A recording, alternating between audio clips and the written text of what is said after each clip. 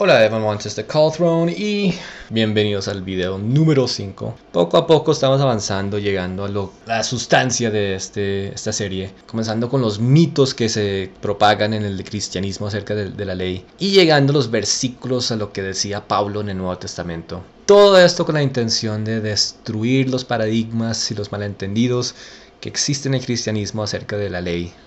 Este video trata de hablar sobre lo que es la ley, lo que dice la Biblia que es la ley. Entonces quería leer un capítulo. Abran por favor sus libros a Deuteronomio 28. Y quiero que leamos lo que era la intención, lo que es, perdón, la intención de la ley.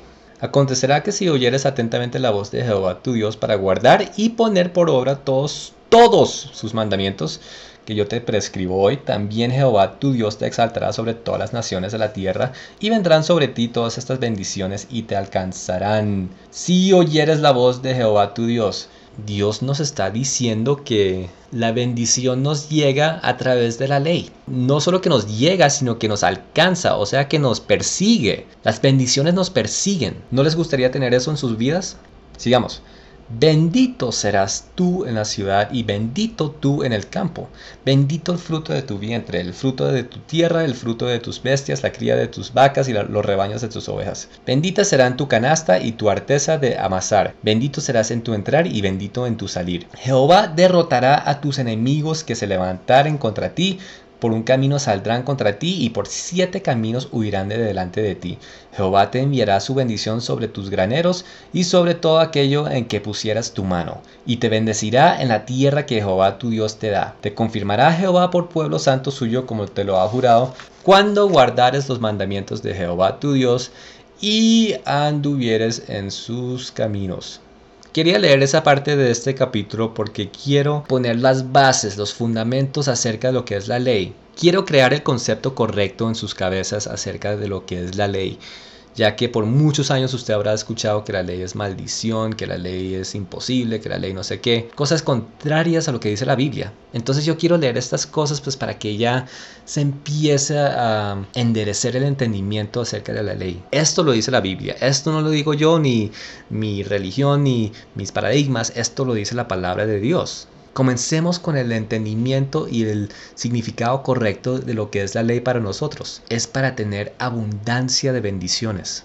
Ahora, hoy en día en el cristianismo existe algo que se llama la doctrina de la prosperidad y es algo que a veces es muy mal visto entre cristianos, entre hermanos, cual básicamente es una doctrina que dice que Dios te quiere hacer millonario Dios te quiere dar riquezas. Y bueno, tal vez, no sé, tal vez el enfoque o el, propósito de eso mm, tal vez sea superficial a veces o tal vez sea muy material en cierto sentido. Pero sea lo que sea, hay que admitir algo. Y es que la doctrina de la prosperidad sí es bíblico. Pero, oh sorpresa, no es como lo dice el cristianismo. ¿Saben de dónde viene la auténtica y original doctrina de prosperidad? Pues en el mismo capítulo que estamos hablando. Sigamos. Deuteronomio 28:11. Y te hará Jehová sobreabundar en bienes. Obviamente está hablando de cosas materiales, esto no es espiritual. En el fruto de tu vientre, en el fruto de tu bestia, en el fruto de tu tierra, en el país que Jehová juró a tus padres que te había de dar. Te abrirá Jehová su buen tesoro, el cielo, para enviar la lluvia a tu tierra en su tiempo y para bendecir toda obra de tus manos y prestarás a muchas naciones y no pedirás prestado. Te pondrá Jehová por cabeza y no por cola y estarás encima solamente y no estarás debajo si obedecieres los mandamientos de Jehová tu Dios que yo te ordeno hoy para que los guardes y los cumplas y no te apartares de todas las palabras que yo te mando hoy ni a la diestra ni a la siniestra para ir tras dioses ajenos y servirles. Ahí lo tienen, la doctrina de la prosperidad, pero es a través de la ley. La ley nos trae bendición. Por eso a través de la Biblia vemos el deseo de Dios de que guardemos su ley. Josué 1.8. Nunca se aparte de tu boca este libro de la ley, para que prosperes en tu camino y que todo te salga bien. Salmos 1.1. Bienaventurado el varón que ande en la ley de Dios, que sea su delicia y que medite en ella día y noche. Salmos 19. La ley es perfecta y convierte el alma. Salmos 37. La boca del justo habla sabiduría, la ley de Dios está en su corazón, sus pies no resbalarán.